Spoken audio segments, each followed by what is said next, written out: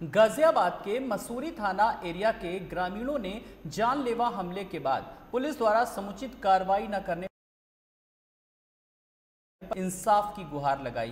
पीड़ित पक्ष ने पुलिस पर भी गंभीर आरोप लगाए और समझौता कराने का दबाव बनाया जा रहा है। आरोपी धमकी देते हुए खुलेआम घूम रहे हैं। बता दें कि 11 जून को निडौरी में दो दबंगों ने एक ग्रामीण पर चाकू से जानलेवा हमला किया, जिसकी लिखित में तहरीर भी दी गई। इस मामले में पुलिस ने आरोपियों के खिलाफ गंभीर धाराओं में रिपोर्ट न लिखते हुए घूस लेकर किसी भी प्रकार की कोई कार्रवाई नहीं कर रही, जिसको लेकर पीड़ित पक्ष ने इंसाफ की गुहार लगाई। टैक्सी से मुबादा हुई थी उसमें आके पीछे चक्कू मार दिया। भाई बाहर दो लोग थे एक सुंदर नाम का था सुंदर ने तो मैं पकड़ा और सिकंदर ने चक्कू मार दिया पीछे से।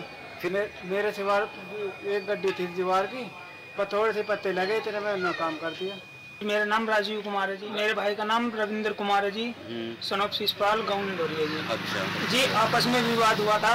ये करीबन ढाई बजे की बात थी ग्यारह तारीख की। और सुंदर ने पकड़ा था सिकंदर नाम